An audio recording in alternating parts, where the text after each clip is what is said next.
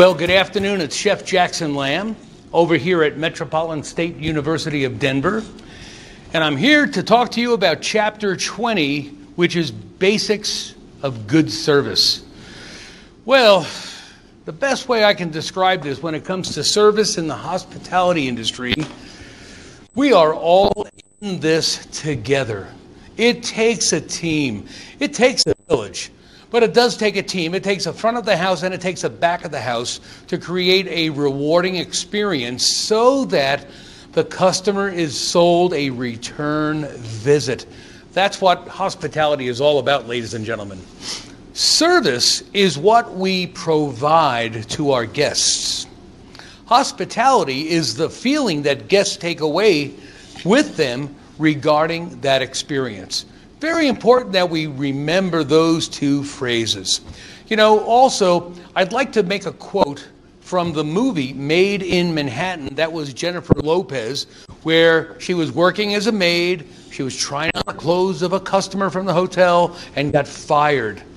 Well, that's really not part of the storyline, but there's a very good line in that movie where her boss, Bob Hopkins, is saying to her, we are here to be of service to our guests, but we are not their servants.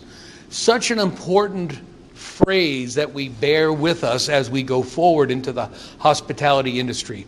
You know, as we are trying to create a, a great experience and great service and great hospitality, first impressions are the most important thing for a guest. And our objective is to make sure that our guests feel welcome.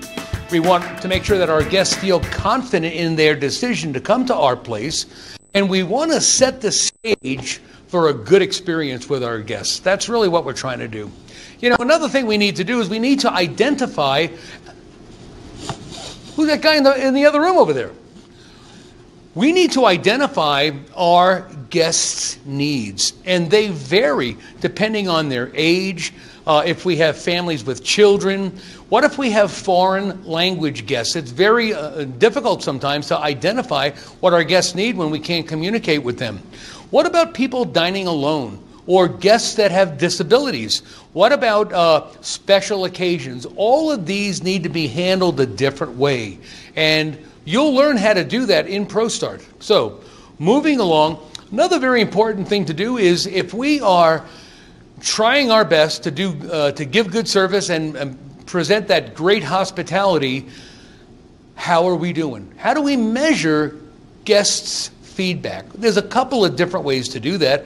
A lot of oper- uh, a lot of operations use comment cards. Please fill out a comment card. Let us know how you did uh, some uh, receipts, you get this in the supermarket all the time. Please go to our website, fill out a short survey. You might win a $10 gift card. Okay. Some operations will go and actually do a focus group. They're going to get 6, 10, 8, 12, 15 guests together, and let's have a focus group and let's have a dialogue about some of the issues that might be in uh, our restaurant.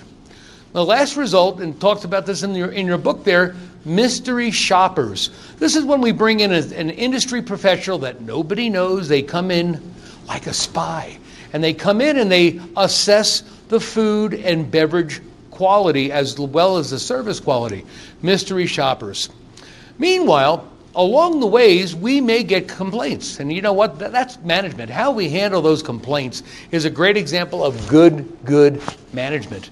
Meanwhile, 90% of our customers don't complain, they just don't come back. So we need to resolve, we need to remember that, and we need to resolve complaints while we can when the guests are in the house. So basics of good service in the front of the house. Uh, here we are, almost at the end of Level 1 ProStart. It's been a pleasure working with you on all of these issues. I've got one more uh, segment that we're going to do in Level 1, and then we move to Level 2, where I'll see you maybe next year or next semester.